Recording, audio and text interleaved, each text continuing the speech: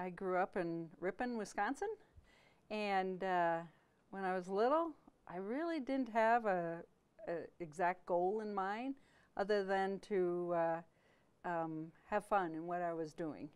And but I had uh, good parents who always said, "Try whatever you want to, and something you'll um, something will come up that you'll like." I have three sisters, and one of them that was older than I went off to get a math degree, but she was more in the Bachelor of Arts, where she was learning uh, statistics and things like that, whereas I was more interested on the engineering side, um, maybe through guidance counselor help and good teachers. And uh, so that's why I decided I'd go to an engineering school instead and kind of played around in math, but then kind of ended up in industrial engineering and operation research. So the math kind of led to doing, learning about things where you could apply math.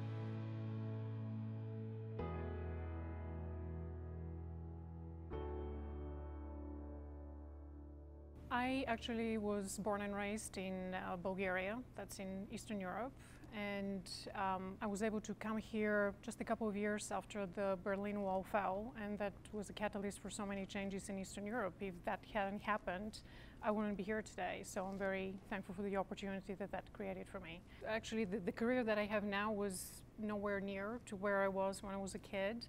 I actually wanted to do something with English language, be that um, you know, an interpreter um, or uh, do a lot of literary analysis. Once things started changing in Eastern Europe, though, I discovered that I had a passion for business. I actually wanted to focus on something that um, created business value, you know, for consumers or, or business customers. And this was such a new field, you know, in Bulgaria. I knew the moment I set foot in this country that I wanted to go and get a uh, business degree.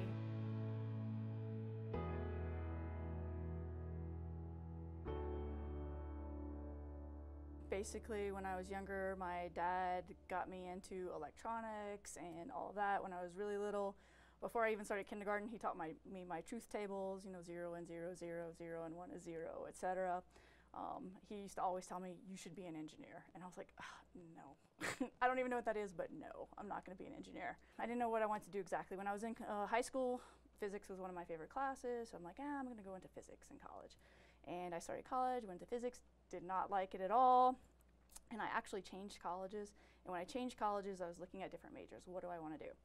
And it's actually an interesting story. I saw a commercial on TV. It was an AT&T commercial of all things, where this guy was up on the mountaintop and he had a watch and like took a phone call. And this was like back in, I don't know, 93-ish. And um, it said coming soon from AT&T or something like that. And I remember saying, who does that kind of thing? And of course, they told me engineers. and I was like, all right, he was right, damn him. so I went to school for electrical engineering with an emphasis in telecommunications.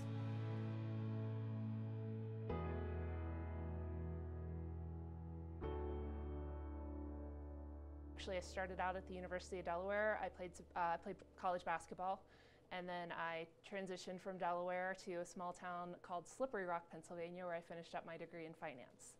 Um, after that, I ended up uh, going straight through to my graduate degree at Case Western Reserve University in Cleveland, Ohio. Um, and then from there, I ended up taking my first job in telecom.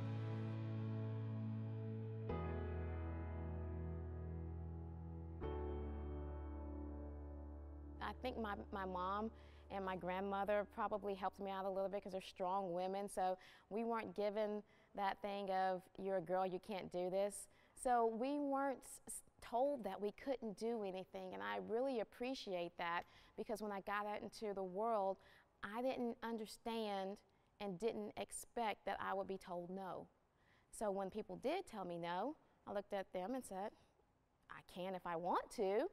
So I, um, I pursued the technology field when it was time to work on programs and coding in college. I was right in there with a bunch of guys and the fact that I was the only girl probably escaped me for a little bit um, until later on because I was working on my work.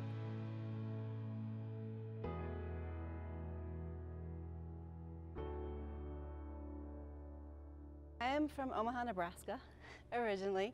Um, and I've always had an interest in math and science. And I was fortunate in that my parents kind of pushed me that way too. So I decided I wanted to go to the East Coast for college, so I went to University of Pennsylvania and decided to major in chemical engineering.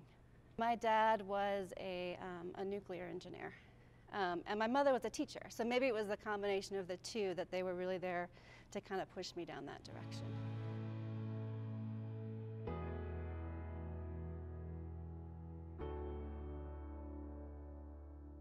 I've always had an affinity for doing things like crossword puzzles and that sort of thing. And my friends always said that I gave good advice and, and they would come to me, you know, with problems and things like that. So the only other thing I was thinking about at the time was psychology. Um, but I, I wasn't as strongly interested in that because although I would give a lot of advice to my friends. They very rarely followed it, and and I couldn't see myself in a career long term where I would sit around and and dispense a lot of advice and see people go off and never really take it. So, um, you know, again, that's where. Um, you know the the attractiveness of technology was um, being able to um, solve these puzzles, right? Um, that's what um, computer programming seemed like to me when you know, especially you know, at a high school level, it was it was all about solving these these puzzles. You know.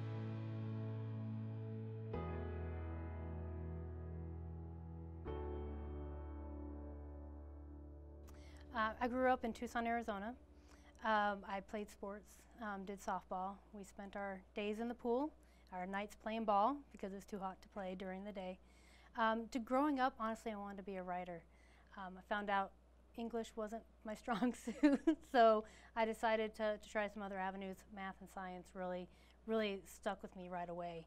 And then once I uh, got my hands on a computer, I found that technology was, was really my future. I took a class in high school, and I found that we were working projects, and I'd be done within about five minutes, and everyone else is still working.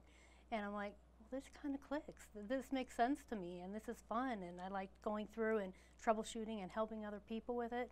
And I'm like, this is what I want to do.